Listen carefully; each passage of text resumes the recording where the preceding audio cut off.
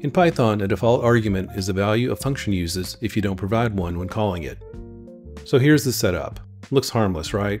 We're defining a function called addItem. It takes an item and a list, called myList, and just adds the item to the list. Here myList equals an empty list is the default argument. So let's run it a few times and see what happens. We'll print the result of addItem1, addItem2, and addItem3. Wait a second. The first call gives us 1, which is fine. The second call gives us 1, 2, and the third 1, 2, 3. We didn't pass in a list, so why is the list growing? Let's change the code and pass in our own list for each call to add item. We'll change the call to add item and add a list with 10 and 20 and make similar changes to the other two calls. And look at this, now the code works fine because we're not using the default list. The bug only bites when we rely on the default. Still don't believe it?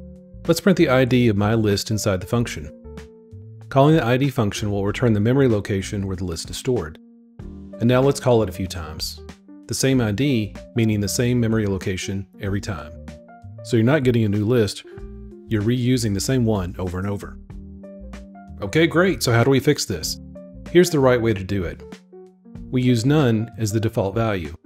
This is the safe pattern. Then inside the function, we check to see if it's none. And if it is, we create a fresh list.